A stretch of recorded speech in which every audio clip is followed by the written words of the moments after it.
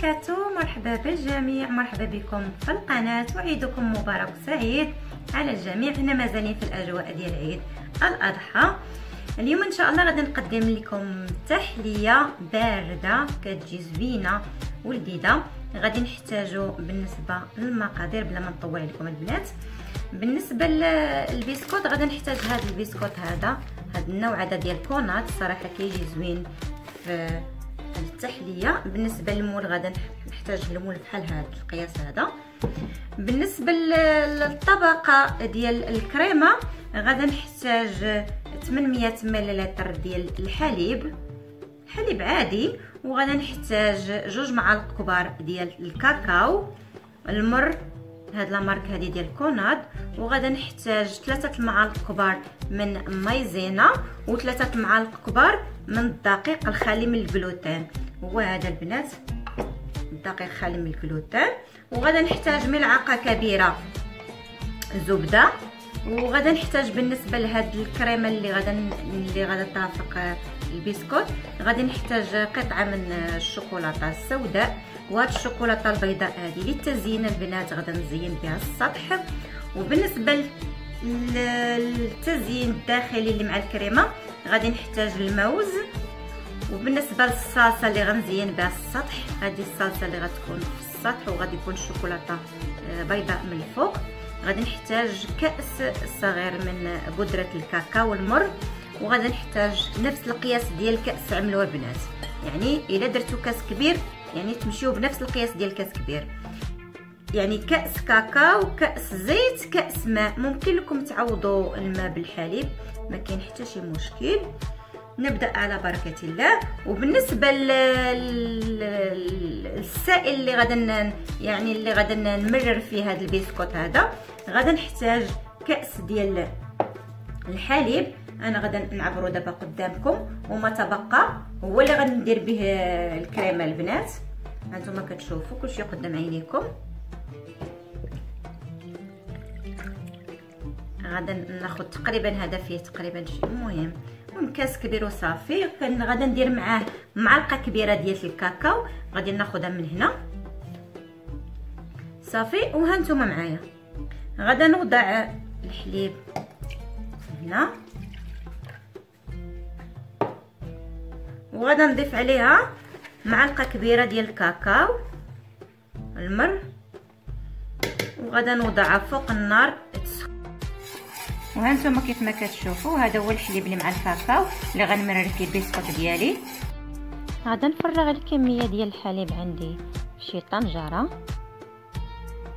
كيف ما كتشوفوا في الصورة كنت خديت من لتر حليب خديت منه فقط كأس. وغادا نضيف السكر ثلاث ملاعق كبيرة من السكر حبيبات. وغادا نضيف النشا الذرة تقريبا ثلاث ملاعق كبيرة نشا الذرة. هي اللي غادا تعقد لنا الخليط. وغادا نضيف ثلاث ملاعق كبيرة من دقيق خالي من الجلوتين يعني أي دقيق عندكم ماشي مشكل. وغادا نضيف كاكاو المر ملعقتان كبيرتان. وغادا نضيف ساشي ديال الفاني. أنا ضفت هنايا وحدة ولكن الوقت اللي مشيت كان يعني تنخلط الخليط ودرته فوق النار ضفت وحدة ثانية يعني جوج ساشي ديال الفاني. وتنخلط يعني على فوق طاولة العمل وهو بارد.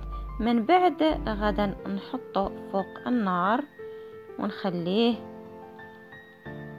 يندمج مزيان حتى يعقد عندي الخليط. وغدا نضيف عليه تقريبا خمسين غرام ديال الشوكولاتة السوداء وملعقة كبيرة زبدة. من بعد ما كيعقد الخليط كنحطو على جنب وكنمشي ناخذ البسكوت اللي عندي وهذاك الكاس اللي كنت خلطت معاه.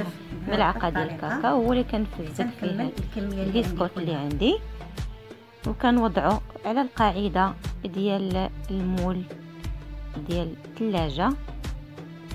ولا أي إناء عندكم ماشي مشكل. يمكن لكم ديروه طويل يمكن لكم ديروه مربع على حسب اللي موجود عندكم. كنحاولوا نفزقوا جميع يعني البسكوت اللي عندنا. بقى عندي يعني الجوانب رقاق. قسمت البسكوت على قطعتين كيف ما كتشوفوا في الصورة. ومن بعد غدا نوضع فوق الطبقة ديال البسكوت الصلصة اللي حضرت يعني الكريمة اللي كنت اللي كنت حضرت معاكم من قبل. كنسرح. الطبقه الأولى وكنوضع الطبقة الثانية ديال البسكوت. كنحاولوا تجينا يجي يعني يجينا البسكوت يعني يعني نلصقو وحيدة مع وحيدة. ما كنخليوش يعني الفرق ما نخليوش اتساع ما بين الجوانب. من بعد ما غنكمل هاد الطبقة ديال البسكوت غدا نوضع فوق منها طبقة ديال الكريمة. وكنديروا الطبقات يعني متساوية.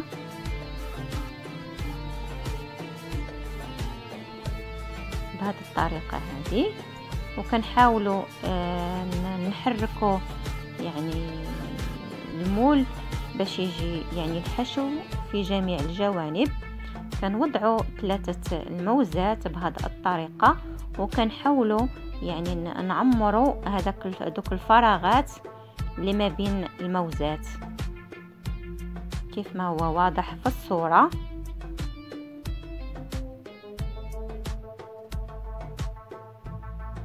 أنا غير حاولت يعني نسرع لكم هكا الفيديو بهذه الطريقة باش ما نطولش عليكم يعني المشاهدة. نحاولوا نعمروا جميع الجوانب. من بعد كناخذ نفس يعني الحليب اللي مع الكاكاو اللي كنت ديجا يعني كان حتى نمرر فيه البسكوت ديالي.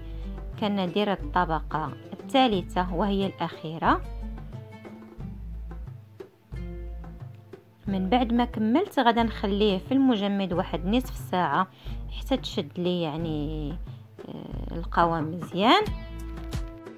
دابا غادي نخدموا الصلصة غادي نوضعوا كأس ديال الزيت ونفس الكأس غادي نعمرو به نعبرو به كأس ديال السكر.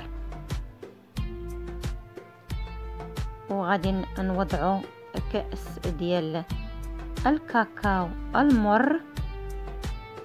وغادي نعبرو نيت نفس الكأس الكأس ديال الماء. mais أنا الصراحه ما وضعتش الماء كله درت تقريبا كأس إلا ربع يعني كون كان عندي الشوكولاتة يعني آه الخام كنت غنستغني يعني على المايزينا. mais أنا درت معلقة ديال المايزينا كيف ما غنوضح لكم دابا في الصورة.